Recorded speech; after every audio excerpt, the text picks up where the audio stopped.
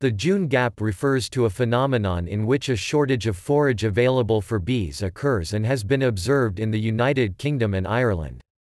Subsequent to the massive volume of pollen and nectar produced by trees and hedges in the spring, there is a reduction in the amount of nectar available to the bees due to long grasses and dandelions suppressing many wildflowers.